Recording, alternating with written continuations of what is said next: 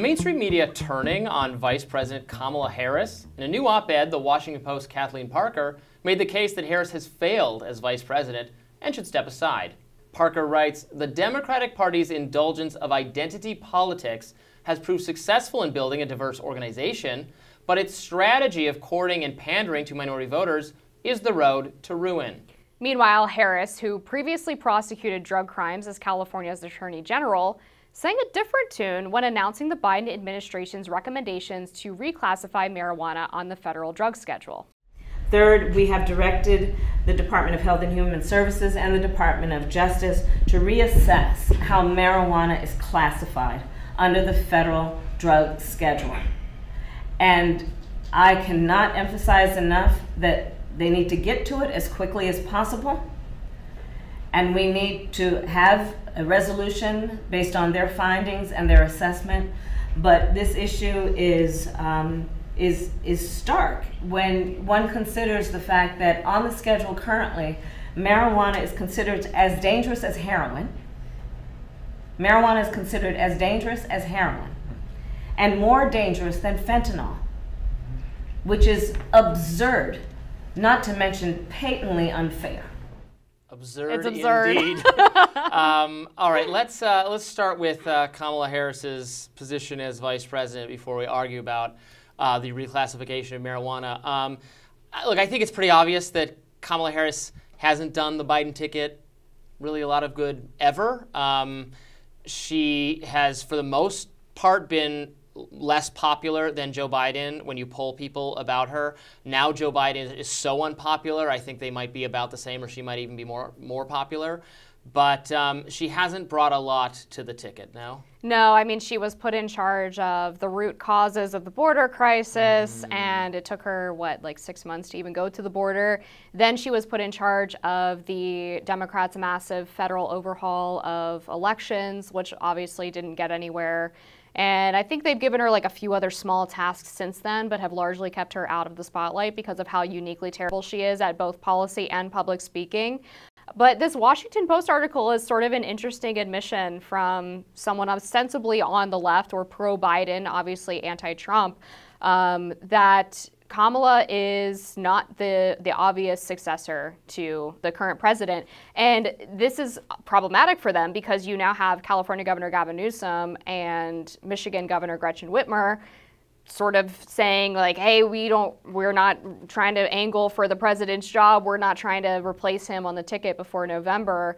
That leaves kamala and that's starting to terrify biden supporters. Yeah i'm somewhat skeptical that gavin newsom would be, end up being more popular and as a Michigan, former resident of Michigan, where I grew up, I'm deeply skeptical that Gretchen Whitmer would prove to be um, more popular. A lot of COVID criticism of her, of her, a lot of the whole, you remember her whole kidnapping sort of uh, yeah, thing. Yeah, the fake which, kidnapping. Like, unlike January 6th, is actually an inside job, was uh, like very provably arranged by the FBI and paid off by FBI informants. But without getting into that, um, yes, I, I think the unpopularity of Kamala is like, something that argues against Joe Biden actually being replaced, or uh, the idea that they replace Joe Biden is always ridiculous because Joe Biden is the head of the party. He has to decide not right. to run.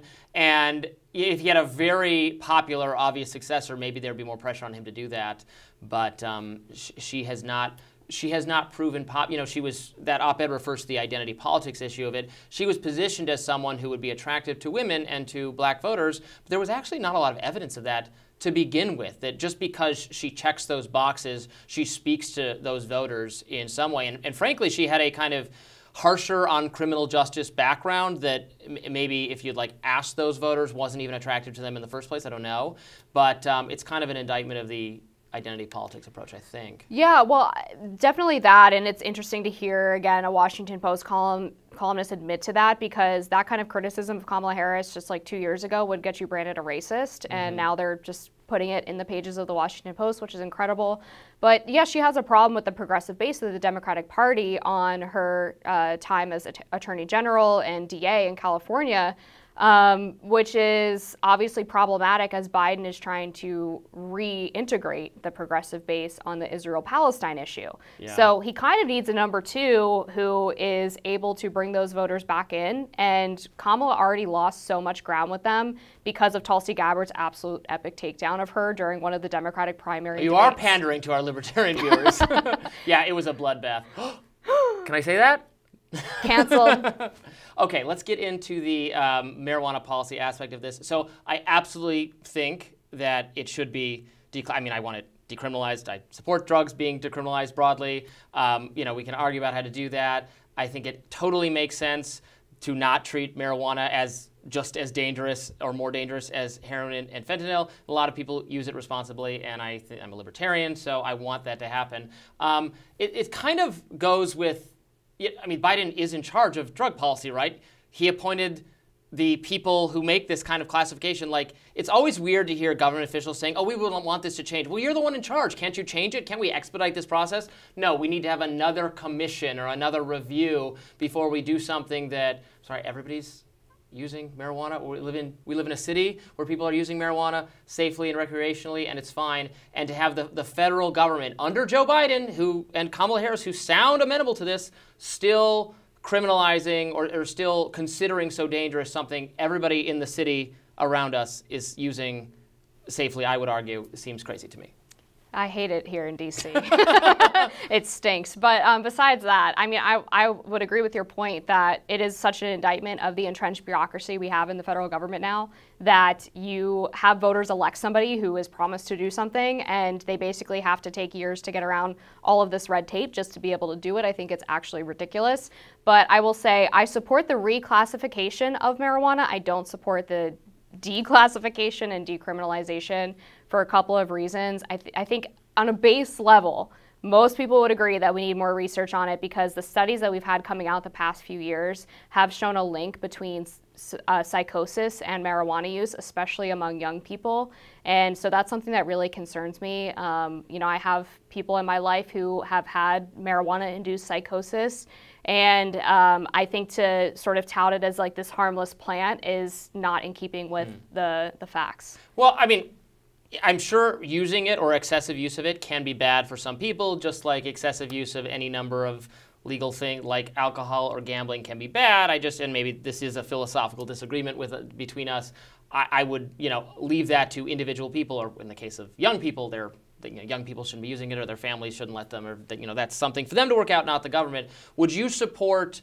Um, you know, letting like the states decide at the very least, rather than having a federal approach to it.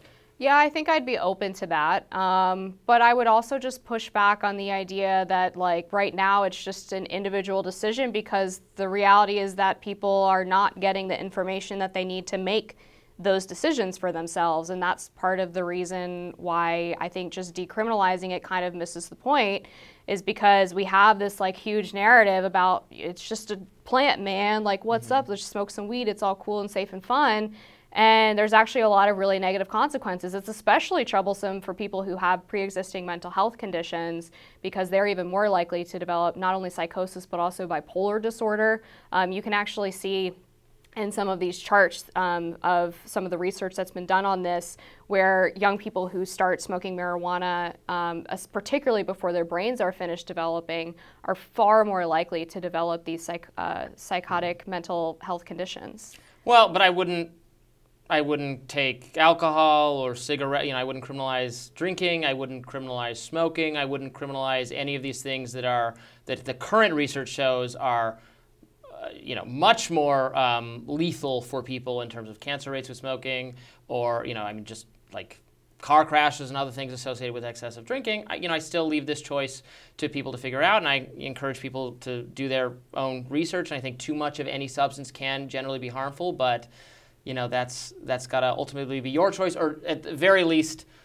the the voters at a more local level to decide to experiment with something instead of having one.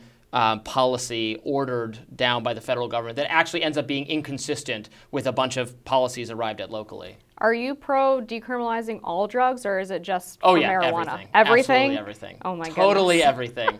um, but uh, you know, you know, that's because I think it should ultimately be your choice. But especially marijuana, because I think it is much less harmful, um, even if there are some harms associated with it or it's harmful for some people, less harmful than things that are already um, legal. And I definitely don't want to, you know, re um, make make do prohibition and make those things um, illegal. Although I see, I, I, will say, I have tried, um, I've tried Zyn.